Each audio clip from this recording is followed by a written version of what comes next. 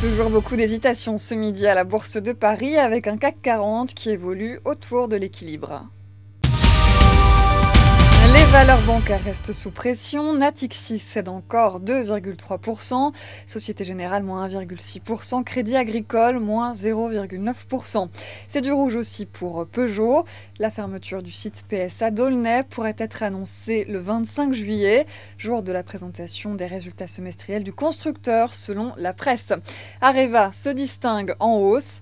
L'industriel français et China Guangdong Nuclear Power auraient monté un dossier commun en vue d'un rachat d'Horizon, la co-entreprise britannique entre les Allemands E.ON et RWE. Enfin, progression pour les grandes industrielles, Technip ou encore Schneider Electric. Danone paye le prix fort pour l'avertissement lancé sur ses marges 2012 avec un titre qui chute de plus de 7%. Le groupe de Franck Ribou explique être confronté, depuis la fin du premier trimestre, à un contexte de consommation très difficile en Europe et particulièrement en Espagne. Il subit également une hausse de 1 à 2% du prix des matières premières, lait et emballage en tête. Conséquence, les marges 2012 seront en baisse de 50 points de base en données comparables par rapport à 2011. Cet ajustement de l'objectif doit permettre à Danone de réduire ses prix dans les pays du sud de l'Europe pour attirer les consommateurs.